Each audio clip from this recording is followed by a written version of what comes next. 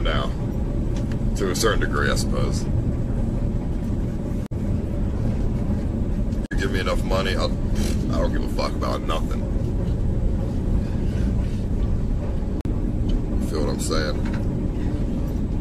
I, I hit, I hit, uh, I, I hit a few licks on crypto last year, so I feel a lot more free now than I than I did before.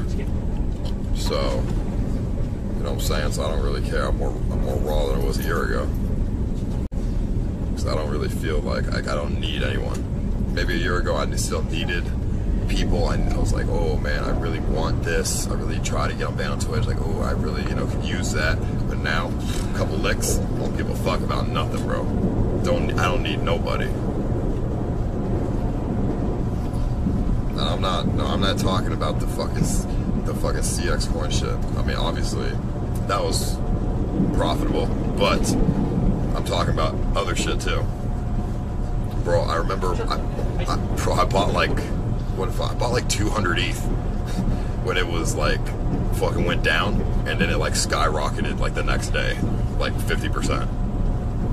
Like that was a good lick right there.